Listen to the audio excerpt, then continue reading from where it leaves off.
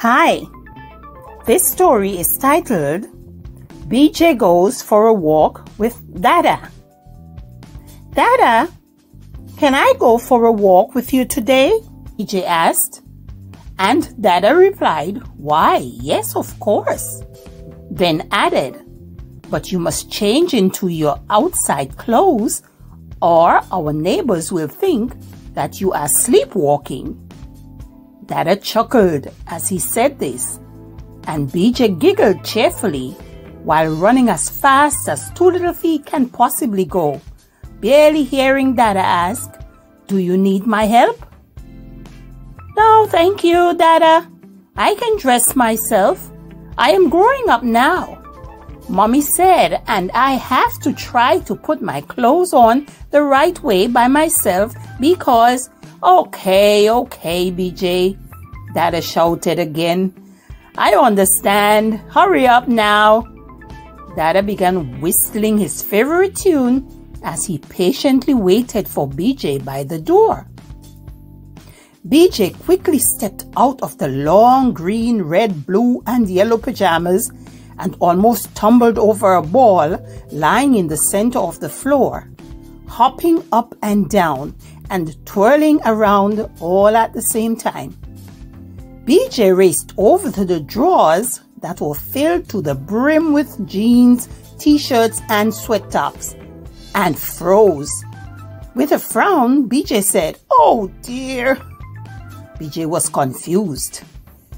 Two little hands flew up in the air and Beejay stared helplessly at the top drawer, whispering loudly and feeling all crumbly. What do I wear outside for a walk with Dadda this morning? Beejay sniffled and sat down on the floor, staring at the drawers in despair and scrubbing back the warm tears that welled up in both eyes. I need some help, Beejay thought as Dadda called out with a warning tone, reminding Beejay that he had only 45 minutes left before he had to get ready for work. Coming! Beejay yelled back and bounced off the floor like a tennis ball. Beejay grabbed the first handful of clothes and tossed them on the floor. Then a second handful followed. Beejay looked at the pile of clothes in dismay. Yanking a third handful from the drawer, Beejay threw them on the floor and looked at the little mountain in bewilderment. What a mess! You know what my mom will say. Beejay turned to Mr. Bear that was propped up on a chair beside the chest of drawers. Beejay sheepishly looked at Mr. Bear and suddenly he felt awkward because Mr. Bear could not answer or help with the huge mess that was in the middle of the bedroom floor. What should I wear outside for a walk with Dadda? Beejay moaned, staring at Mr. Bear and wishing a bear could talk right now. Beejay was about to lie flat on the pile of clothes and weep when just then Beejay saw it and yelled out loud, My favorite play suit mommy bought me for my birthday! Skipping with excitement, and twisting and stumbling all at the same time, Beejay shouted, I'm coming, Dadda!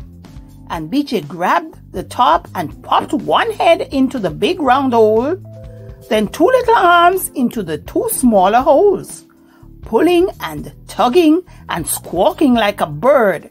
It's on! Beejay shouted.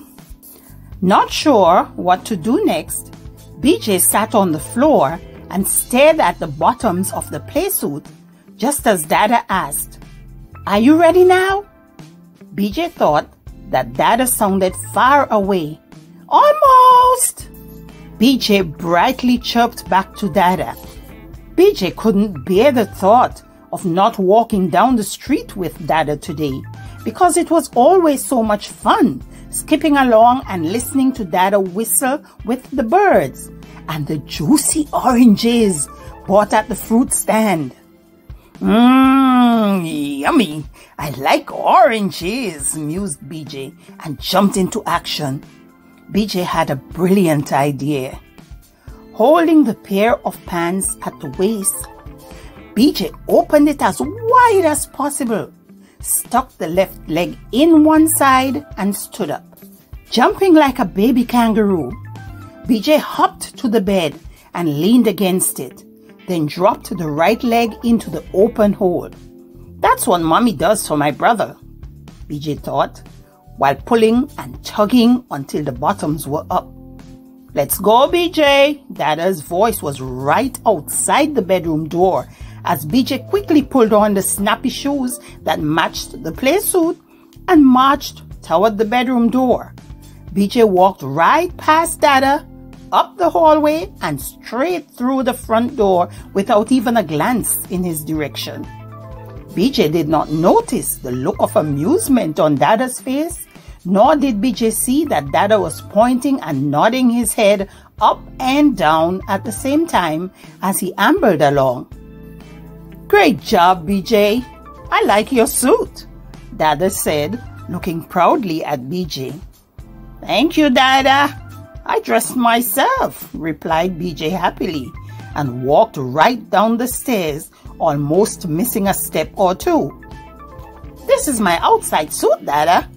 Beejay finally looked up at Dadda, who had to stretch his steps out to keep up with Beejay's speed and nodded as he hurriedly reached for Beejay's swinging left hand. Do you see the white walking light on the traffic sign, Dadda? Oh, yes, Beejay, Dadda replied. So we can cross now, said Beejay. And Dadda replied, Yes, we sure can. They walked down the street together.